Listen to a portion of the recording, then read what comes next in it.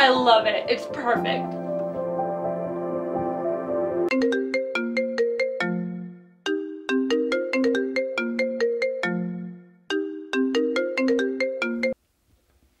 Yeah, no, I've I've got nothing but time.